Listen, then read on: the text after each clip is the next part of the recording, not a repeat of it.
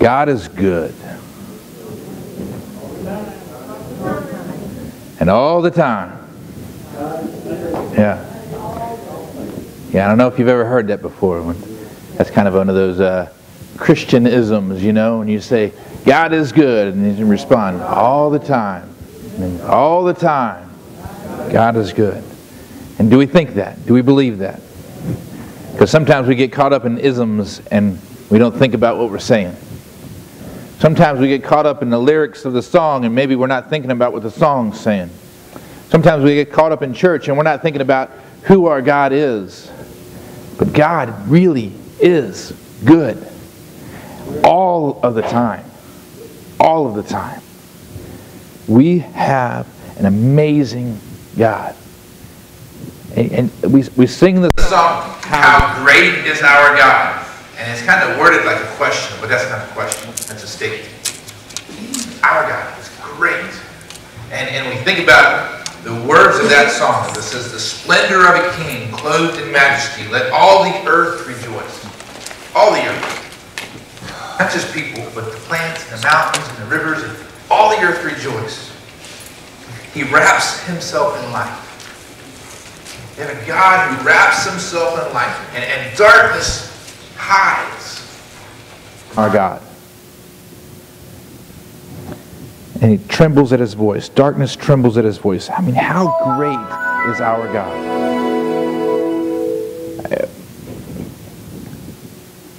I, you can't put words to the, to, to the majesty of our God and how wonderful he is. It says, Age to age he stands, time is in his hands, beginning and the end the Godhead three in one, Father, Spirit, and the Son. He's a lion and he's a lamb. He's a name above all names. He's worthy of our praise. And like the song sings, He's worthy of our praise. That we lift Him up. He is worthy of our praise. He is amazing. We sing about amazing grace, but do we really understand that grace is amazing that our God gives us? That we glorify his name. We, we, we, we gather together because this God that we serve is, is inexplicable. He is so wonderful and inexplicable. That should not give us the excuse, though, of not trying to explain him because he's, he's oh so majestic, oh so beautiful. And, and you know, I get caught up I, I, like the preview though, and uh, for the Truth Project, he said, "The God of the universe, this amazing God, this this wonderful God, this this Almighty, all-powerful, all-knowing, holy God, dwells inside of me." Wow. I mean, can we grasp that? Can we rejoice in that? Can we praise in that? Can we just revel in that, the beauty of that. I um, I went to a, a, Catalyst last year, and Francis Chan was speaking, and and Gungor. Y'all heard of Gungor? How many people have heard of Gungor? I didn't think a lot because it's like a, a really Gungor's like a, uh, they're really uh, a, a, popular Christian group for the, the teenagers or the younger the younger crowd and we're not the younger crowd. Most of us, so some of us are, some of us are, you know, but that's good. But Gungor's, I mean, they're an awesome band. They're playing, you know, they get up there and they're playing, and the whole stadium is just worshiping. And then they get done, and Francis Chan walks up on stage and he says, Hey, how about that Gungor? And the crowd goes wild. Yes. he said, Hey, how about Jesus? And, and they go wild. Yes. And if anything, just a little bit less. He's like, We can't do that. Gungor and Jesus are not on the same level. And so oftentimes we do that. I went out in my yard the other day and I was pulling some weeds and, and I saw this spider. It's like yay big, huge spider, and it was beautiful. It had these beautiful black and yellow markings on it, and it had this beautiful web with this zigzag on it. And I took pictures of it, and then I wanted to go in and tell my wife about it, and, and, and told my daughter about it. And, you know, it, it, it was cool. I wanted to tell people about that. But it's a spider. You know, do I get excited about going and telling people about Jesus the same way that I did about this spider? Or do I get as excited about Jesus as I would about Gungor singing at this conference? Or do I get as, as excited about Jesus as I do sporting events or, or anything else in this world? Does Jesus touch us the way that anybody or anything in this world does? That is a, a, a conviction on me, and I, I dare to say on most of us. This is our, our God. Our God that we're talking about. Let's, let's pray before we go any further.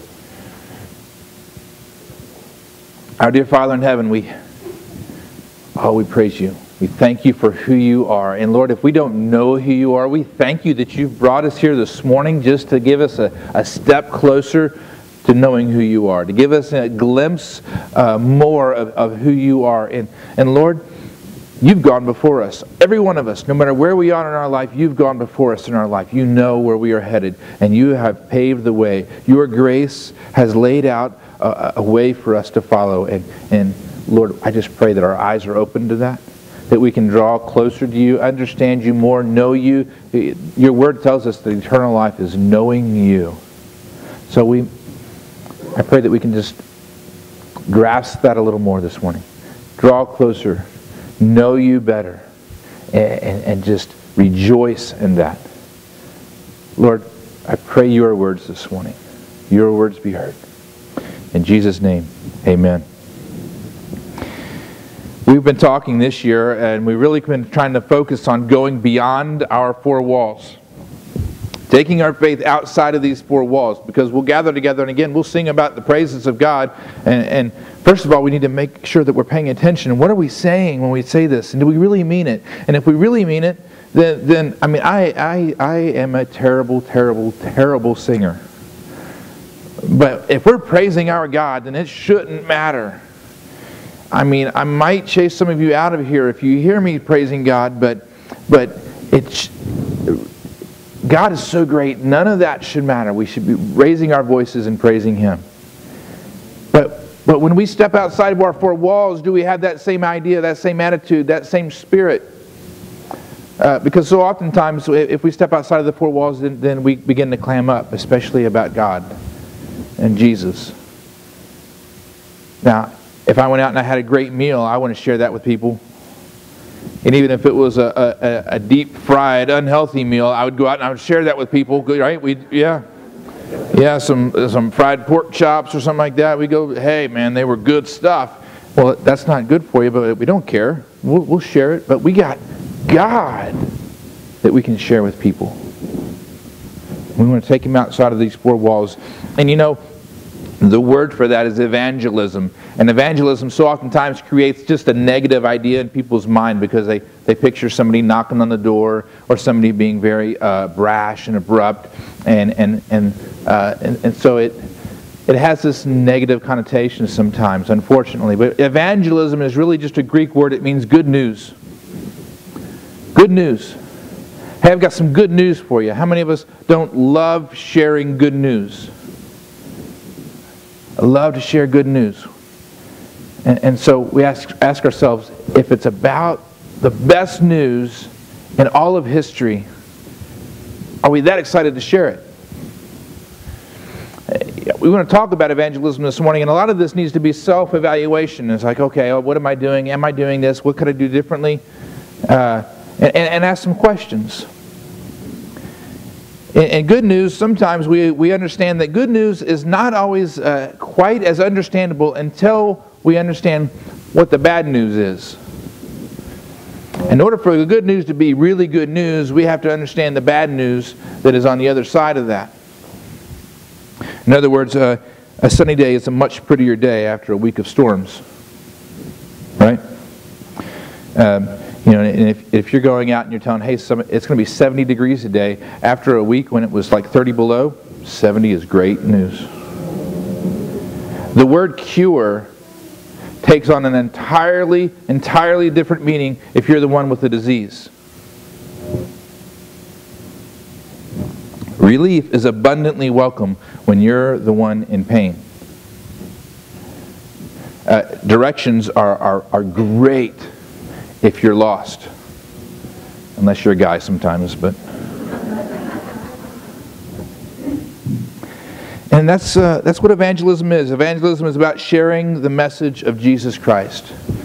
It's about telling the good news of Jesus Christ and what Jesus Christ has done for us. And, and here's what evangelism is not evangelism is not a checklist, evangelism is not a competition.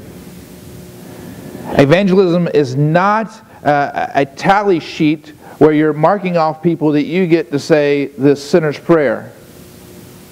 That is not what evangelism is. It's not uh, the opportunity to shove a message, no matter how good it is, down somebody's throat who doesn't want it.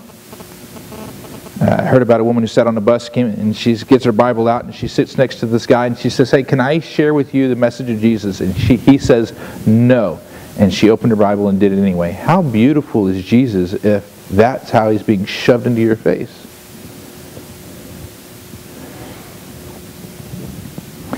Evangelism is simply the news about this inexplicably great God that we have, this beautiful God that we have, this glorious and holy and perfect and awesome and mighty God that we have, this God who is full and not just full of love, this God who is love. That's evangelism. That's telling people about this God that we, we serve, the only God that there is. And, and you know, God sent his only Son God so loved the world that he sent his only son. I mean, that's the good news right there. And, and if we're not taking the message out in that context of love, because God sent his son, he left his throne, he came to a, a manger in the context of love. And if we're not taking that message in the context of love, then we're doing a great disservice to it. A grave disservice. We have to carry out this message of God in love. Again, this isn't a contest. It's not a scoreboard. It's not to be driven by numbers. Here's, I don't know a whole lot for certain. Okay, I'm, I'm, I'm pretty simple, and and uh, I, I, completely uh, I agree with Paul when Paul says, "Hey, listen, I, I preach the gospel, and other than that, I'm kind of a I don't know a whole lot." All right, but here's one thing I know for certain Everybody has a need in their life. Everybody. It doesn't exclude anyone in the world. Every person has a need in their life. Every single person in this world is broken.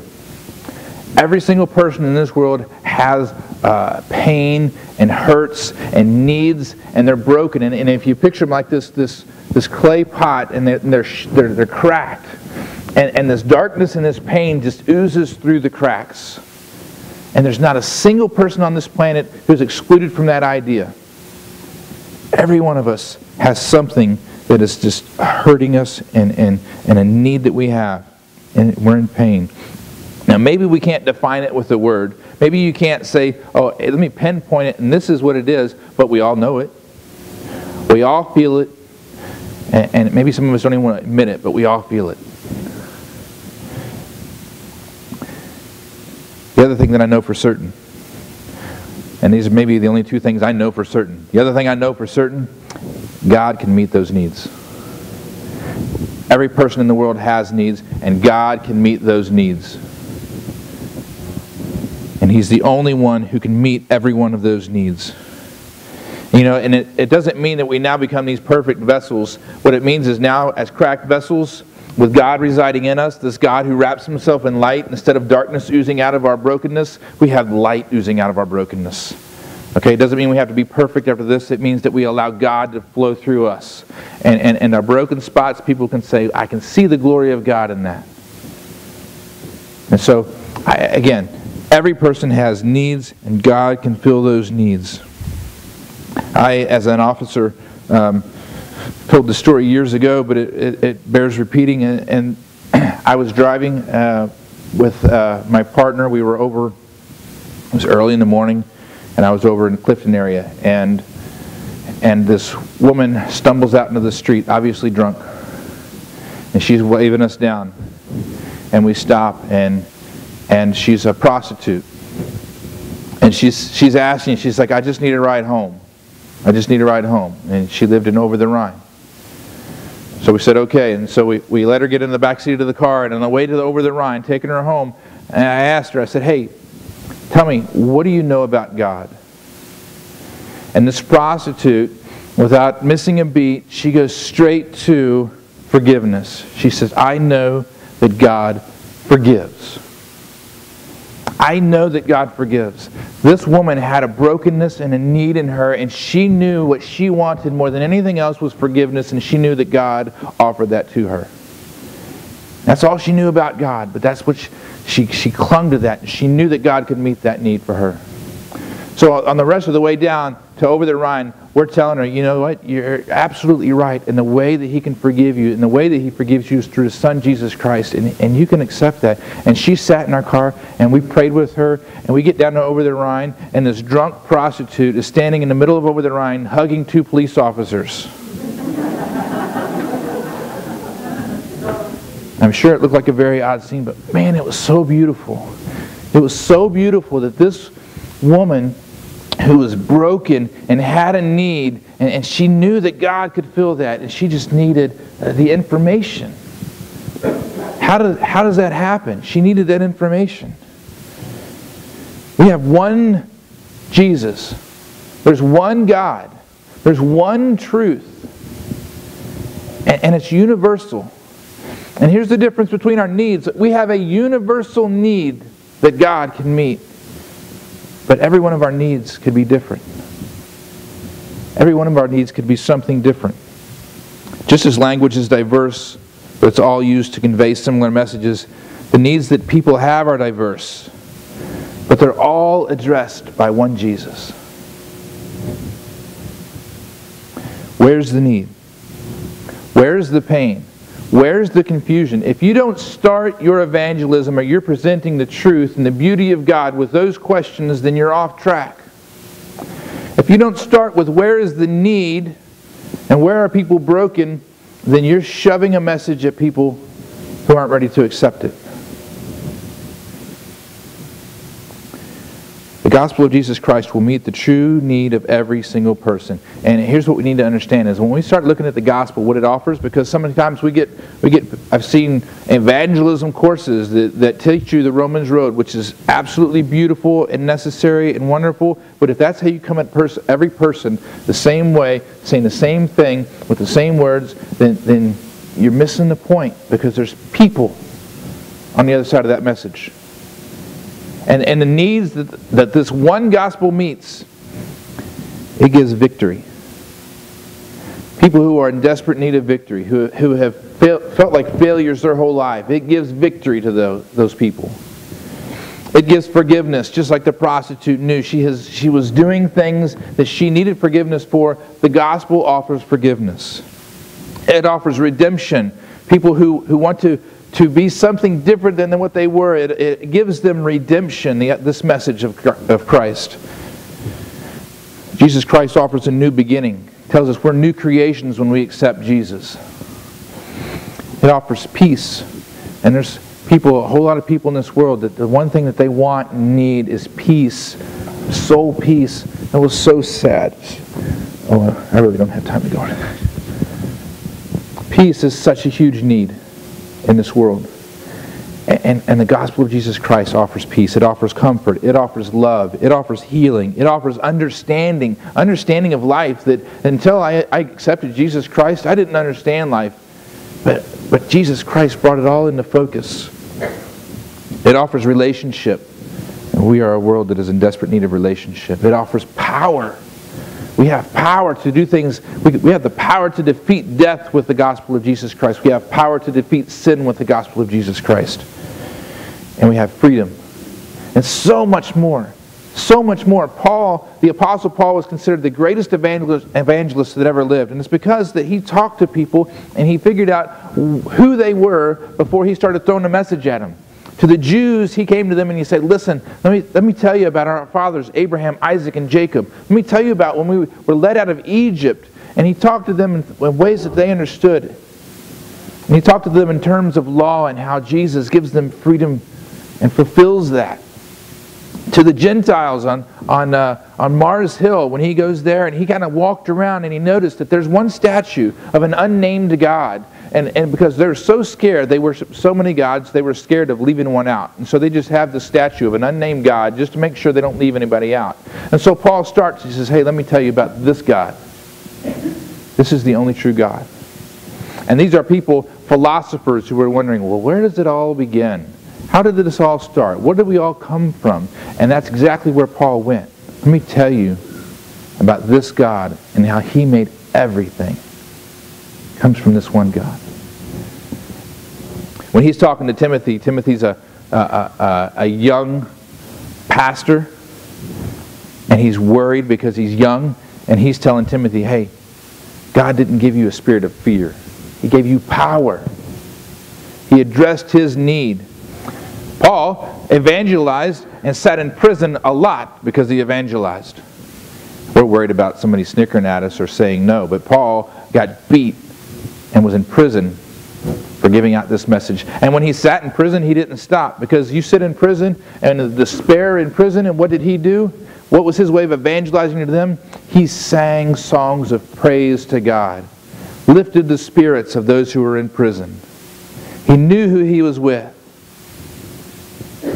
He shared the message.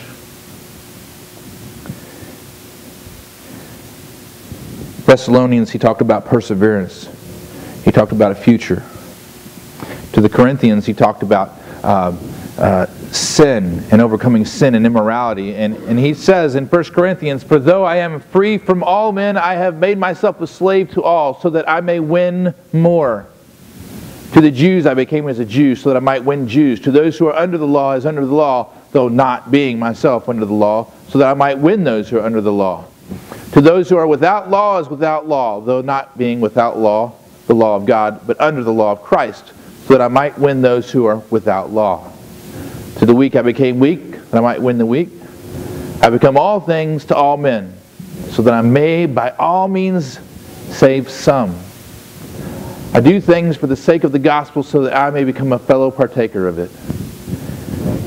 I understood who I was talking to. I, I understood that these were people that I was talking to who have needs, and God can meet those needs. Blaise Pascal said that we all have this God-shaped vacuum inside of us. Only God can fill it. Your, your vacuum might, might look a little different than somebody's next to you, but God is the only one who can fill it. The need of every human being is universal, but it's not identical. And that's the thing, we have to, we have to care about the people who are on the other side of the message.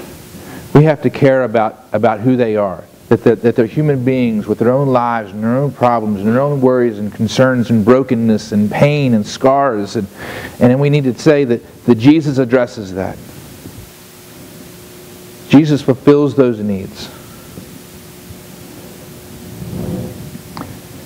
We talk about Jesus being a relationship. This is the big talk now in, in, in church. It's a relationship, it's not a religion, and yet sometimes we refuse to relate. if we're, if we're touting a relationship with our Maker, then we need to relate to people to portray that message. We have uh, so many motivations for, for evangelism, so many motivations to share this good news, you know, not, least of which is the fact that there are eternal souls in every human being. Eternal souls, and without this good news, without this message, then those eternal souls are, are in danger of spending an eternity in a very real hell. Eternal souls. Now, I know that we, we begin because we sit and we sometimes we, we start with the objections and we say, well, I'm not very good at that. And I'm going to tell you about this guy, and his name was Jonah. This was in the Bible that I grew up with. I loved this picture as a kid. But Jonah was this guy, and he's walking around, and he's living back in the time when uh, he's an Israelite, and, and God comes and he says, Hey, listen, I want you to go to Nineveh, and I want you to preach a word to Nineveh. Now, Nineveh was the capital of Assyria. Assyria is the nation that is destroying Israel, coming against them, wanting to, to overpower them and destroy them. So Jonah is standing here, and God says, Go to Nineveh, and tell them about me. Jonah's thinking, I hate them. So I'm going to go this way. And as Jonah goes this way, then uh, the circumstances lead to the fact that a fish swallows Jonah and takes him back to where God told him to go. So he ends up in Nineveh. Now here we have a reluctant prophet. Doesn't want to save these people. Doesn't want them saved. And so he walks through the streets of Nineveh finally, and here's his whole message. So he says to Nineveh, Yet 40 days and Nineveh will be overthrown. There, I did it. That's all he says. He doesn't give the Romans road. He doesn't walk them through Scripture. He says, 40 days, you're going to be overthrown. And now, keep in mind, this Assyrian nation who is, who is just running through the world, destroying, they understand overthrown. They understand their need.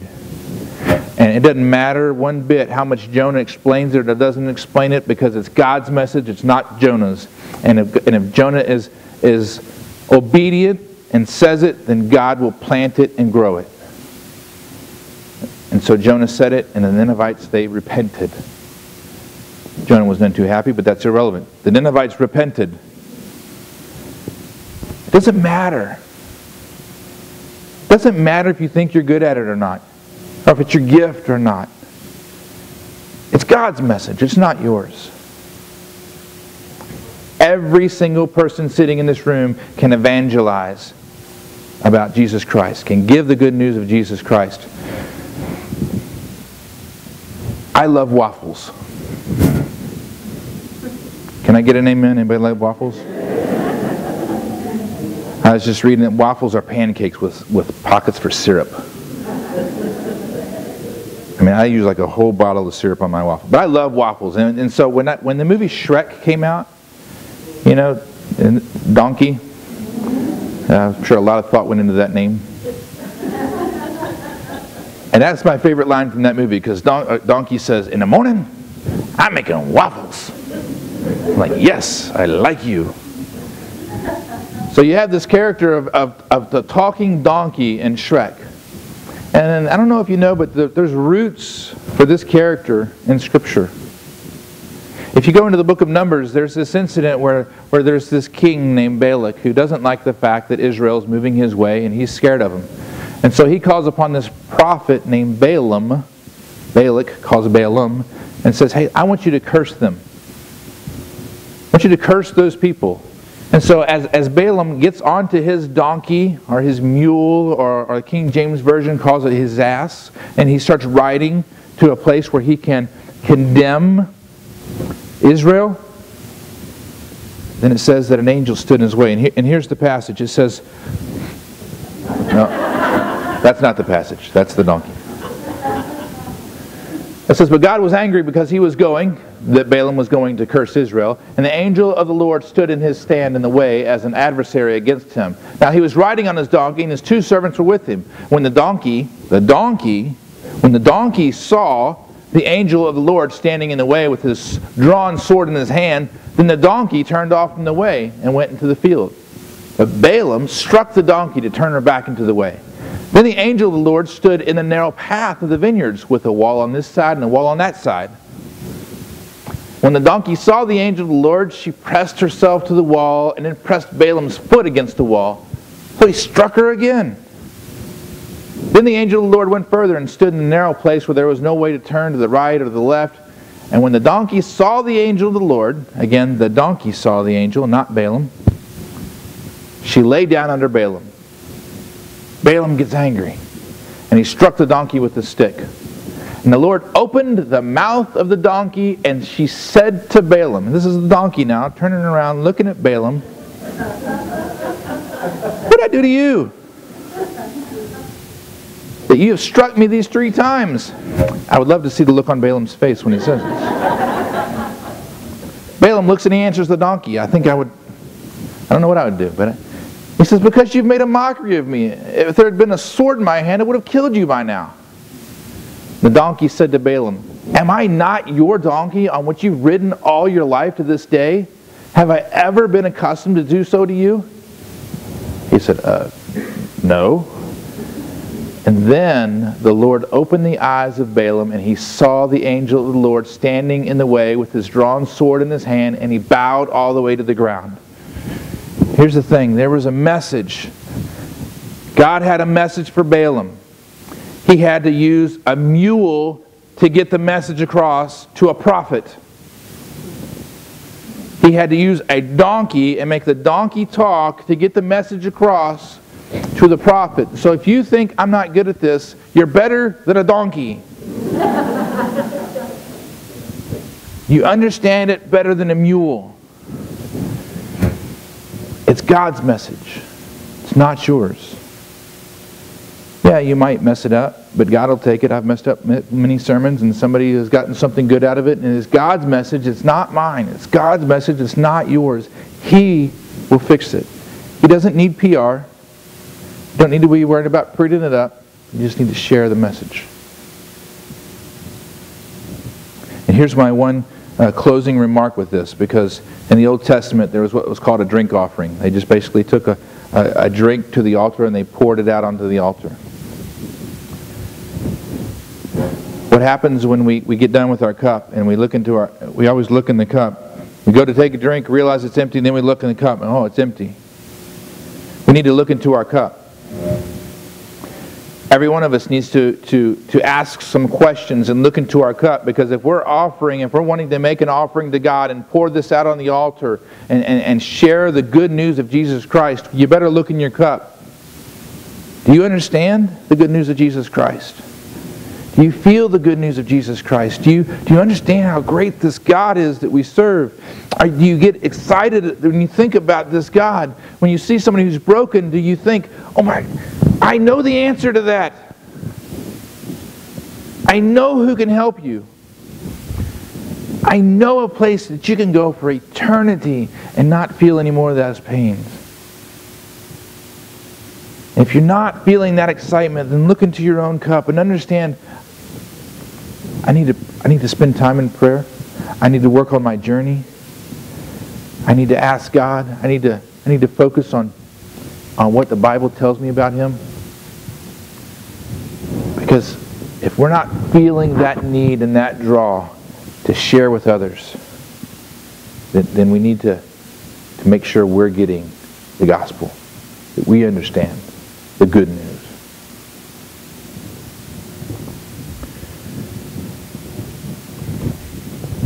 Pray with me. Our dear Father in heaven, Lord, you are amazing. Lord, the, the grace that you give us is, is amazing. The mercy is, is, is beyond our comprehension. How great you are, God. How wonderful you are, how beautiful you are. And Lord, I pray that that would just, that message would sink into our hearts. Not, not a guilt about going out and telling others, not a, not not a not a commandment to go out and tell others, but the love of you would just invade our hearts and take over because if that love happens, we can't help but tell others about your beauty and your majesty. Lord, may every one of us feel your love and your presence. And may we lean upon each other as we do this because this is a, this is a journey. Lord, we want to be messengers. We want to be the messengers of your good news. With our mouths, with our lives, with our actions, with our voices, with, with everything that's in us. Lord, we pray your blessing upon us. We thank you in Jesus' name. Amen.